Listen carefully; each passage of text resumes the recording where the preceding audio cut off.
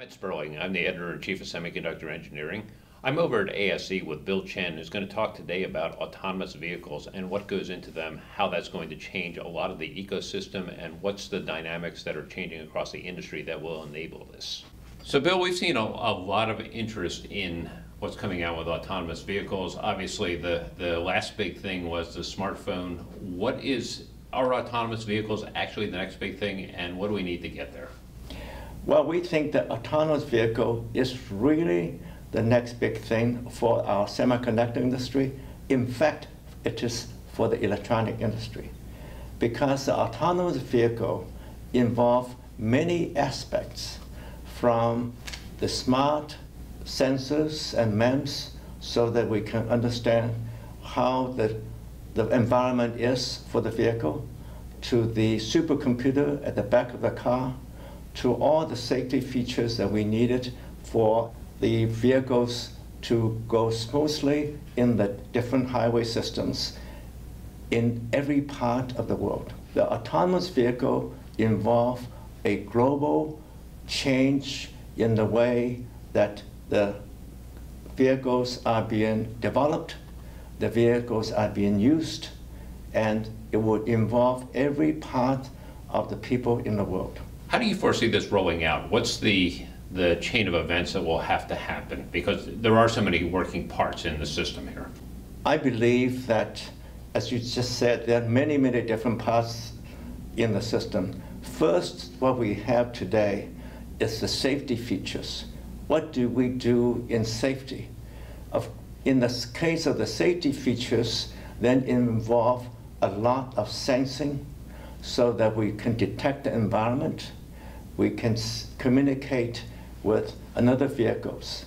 So what we see today is that in US, you have the Department of Transportation mandating a ways from communication from vehicle to vehicle. And then you also see that Europe and Japan are coming up with their own versions of, of the regulation, their own versions of the standards.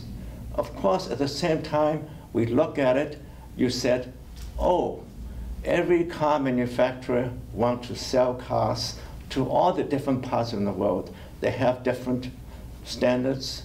So then how do the different car companies develop technology that can be used at the different places where we need to have a way to meet those different regulations? So how do we get that? Because we're, basically what we're doing is trying to get uh, standards across the industry, both for developing technology as well as within the, the uh, government bodies that, that regulate all this stuff. Is there going to be any consistency? How do we make that happen? Well, it, that would coming back to the way that we are looking at today. For example, in smartphones, smartphone makers make, make their product so that it can be used globally. We already have experiences on how to do this. What we have to do is to greatly expand this because in autonomous vehicle, we are not just talking about communication. We are also talking about safety. We are talking about sensing. So that's where the idea of heterogeneous integration coming in. We need to be able to develop technologies that will have different part of our semiconductor system producing different products, different ICs, MEMS, sensors, passives, so that they can put into a single module. And in that single module, it could be easily changed and easily modified to fit the different requirements at different parts of the world. Why don't you draw this out for us so we can visualize what you're talking about? So Bill, what are we looking at here? So for heterogeneous integration, for example, what we have shown over here is that we, we have a die from Fab 1, a die from Fab 2. One of them may be a, a node X, the one, another one may be a node Y, involving MEMS, sensors, a lot of passives, and we want to put them together in a very single package a single module. So that is why we're talking about heterogeneous integration. It will if have a way in which we put different features and different functions into one single package and one single module. We used to try to get this all onto a single chip, and particularly in, in the, the smartphone. What's changed here? Why do we do it this way now? What is changing here is that we want to have different functions, where those different functions can be customized for uh, different needs, customized for different applications. At the same time, what we want to look at is to see that some features we want to come from Fab 1, some features from Fab 2. We don't want to, to, to use the most advanced nodes where it is not necessary to use it. I think what we are talking about right now is a economy of design. Previously, we think about economy of scale. Now we are thinking about economy of design as in meeting the needs of economy of scale. You might think about it as saying is that we want to have mass production. At the same time, we want to have a, a customized product that can do the mass production. And through this type of approach, how much of the chip actually changes every time, or how much of the package changes every time? Is 80% of it the same all the time, or is every component now unique and put together differently? What we see in the, in the heterogeneous integration is the way in which we need to put all the different ecosystems together so that you have a design and manufacturing and the system needs all come together in terms of a optimizing the total system. And the optimizing the total system is a way in which we can reach what we always call the economy of scale, but at the same time, we can meet the different requirements. So going back to the discussion that we have is that we talk about globally, different standards will come in and how do we meet the different standards? Globally, how do we go from today a certain feature, but tomorrow someone may develop a new feature, and how do we integrate that into the system? We are talking about a way in which our design will become simpler and time to market will become faster. And that's one of the keys for knocking down the cost, too, right? Is being able to get a design out that you know will work in much less time. Exactly. I think what you are talking about is the key aspects of our industry because we want to bring the cost down in the same way that previously the Moore's law drive the cost down. Now we are looking at it is that a different way for us to achieve the benefit of integration, to achieve the benefit of mass production. At the same time, we want to have economy of scale. But there are parameters that are starting to evolve for individual markets, such as automotive. I know the IEEE is developing its IRDS, which is very, very specific for markets. Um, is that part of what's behind here, too? Well, heterogeneous integration is also a part of the IEEE um, initiative. At the same time, what we have is that we are reaching out to a community outside IEEE such as SEMI, such as ASME. Within IEEE, we are also reaching into the Consumer Electronics Society. We are also reaching into nano, the Nanotechnology Council. So when we started with the CPMT Society, with EDS Society, with Photonics, we are also reaching out so that we will involve the total community in our technical ecosystem. So let's roll this back into automotive. How do you see this playing out across different geographies, so different regions? So what happens in Japan versus China versus Europe versus the United States? Are they all looking at the same heterogeneous integration, or is it is it region specific? We look at it saying heterogeneous integration activity is going on. Is we have gone to Japan, gone to China and Europe, and we see a groundswell of interest from every part of our ecosystem, from every part of community from universities to research institute and particularly in industry. So we, we hear about heterogeneous integration. We've been hearing about um, system in package SIP for quite a while. What's the difference here? Well, I, I would look at it from the perspective of SIP is always the idea that we put things, we put the different devices in a single package. So in that sense, it is something that is related to the back end of the packaging community. For heterogeneous integration, we are involving the total ecosystem. And so what you might say is that SIP, looking at it, is a, a part of the heterogeneous integration, but heterogeneous integration belongs to everybody.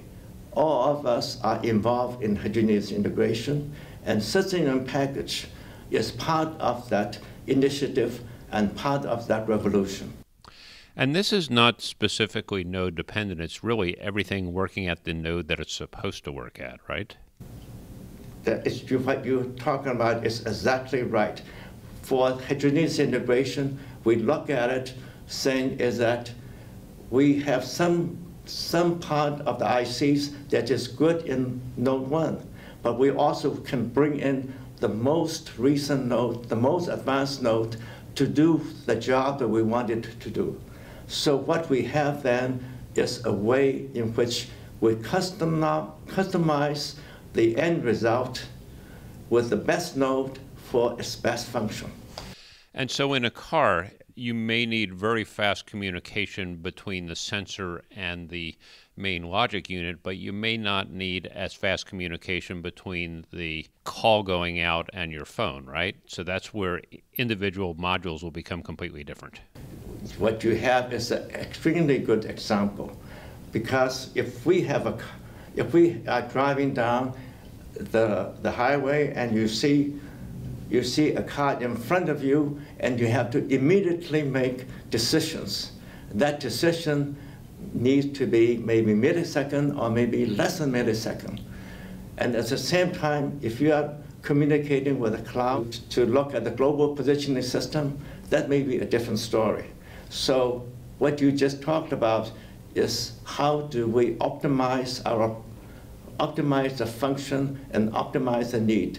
And an autonomous vehicle, we involve almost every part of our industry every part of the function that we are looking at. So this is the perfect example for us to look at it and said, our industry, it, that, when I say the industry, I mean the electronic industry. Our electronic industry is involved in every part of the revolution for the, for the autonomous vehicle, and heterogeneous integration would be an essential part of that for that to happen. Does it matter whether it's fan out wafer level packaging or 2.5D or eventually 3D IC? Where do each one of those play in this? Well, when we look at it, is that we have developed in our, in our technology different ways to address the different part of the needs. The way they you use the word fan out they use the word 2.5D, 3D. We want to look at it and said, what is the best technology for that to happen? A lot of the uh, technologies for heterogeneous integration, a lot of technologies for the uh, use in the future cars involve technologies which is wire bond, involving flip chip. We look at it and said, our industry has a tremendous amount of activity, tremendous amount of capability to customize what we need to get the best technology, the most appropriate technology, the most cost-effective technology to what is needed. So that is the beauty of heterogeneous integration, the beauty of SIP. What we have now is choice the choice for the designer, the choice for the architect to put in exactly the technology that is needed with the most cost-effective way. A lot of this technology, though, is relatively new. Do we have any indication at this point of which is going to be more reliable over time for these devices? Because when you talk about cars, we're talking about potentially 10, 20 years or potentially heavy use even within a, a single year. It's a whole different model. What you talked about is extremely important because, in the way, the car application, the, the, auto, the automotive application, with its harsh environment, at the same time with the need for lower cost, this is a perfect place for us to get the technology proven, but at the same time, we want to make sure that whatever goes in there has the highest reliability possible.